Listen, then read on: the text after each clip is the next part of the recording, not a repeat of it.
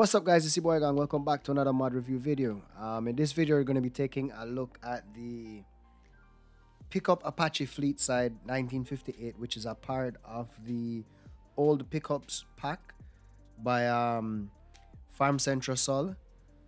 Download size for the entire pack is um, 39.27 megabytes.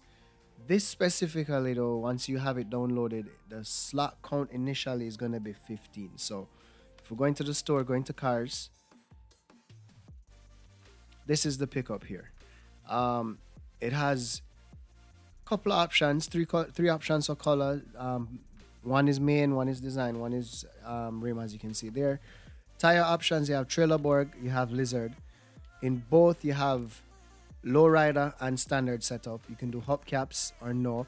What I did realize is for Lizard, I think the hubcaps does not look good, but I think the um I think without the hubcaps it looks good, and then if you drop it like that, it looks amazing on that right there. Um, besides that, you have um, attachments. You can do a trailer who can hitch on the back. Um, you can make it a bale loading wagon or a you know one with a support board, so you could carry like pallets and stuff like that. Um, I don't think any of those two make a difference because they there's no auto loading feature, so you have to manually pick the bales up and throw them in the back. Um, let's talk about the functionality, what what it does. All right, so if you're in the truck, LBRB, actually LB, and hit A, it drops the back and it's called close buffer. Um, if you do LB the right joystick to the left, it opens the the left door, the driver door, which it's labeled as lift front loader, but that's fine. Now, if you do RB by itself and do the um, right joystick up or down, I should say, it opens the hood.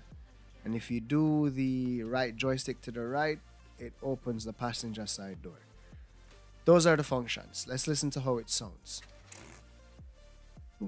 Sounds kind of hot radish, you know, not bad. Horn, also not bad. Now, there's a couple things I found about this truck that was um was was it was pretty cool. So uh, that's making me dizzy. First off, when you change the um, let me go back in the store really quickly.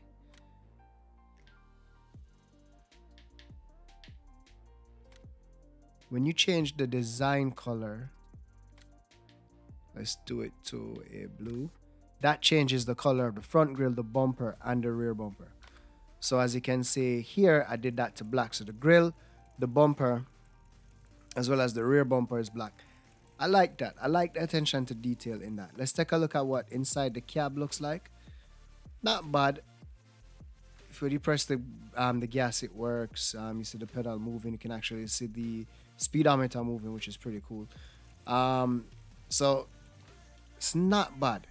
Both trucks look really good. They're you know good looking trucks. Now, here is where I found something that's pretty cool. I'm a car guy. I'm into you know modifying cars stuff like that. On the lower truck, right?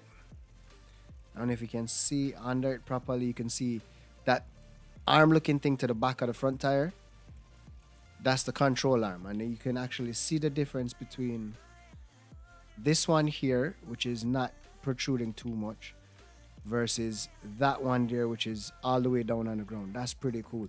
Here's what's even more cool.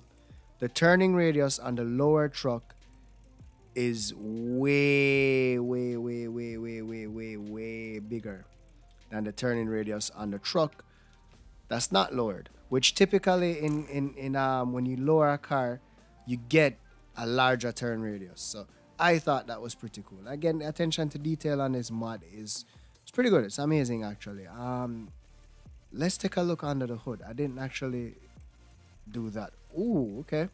Engine is moving while it's on. That's pretty cool. Wow.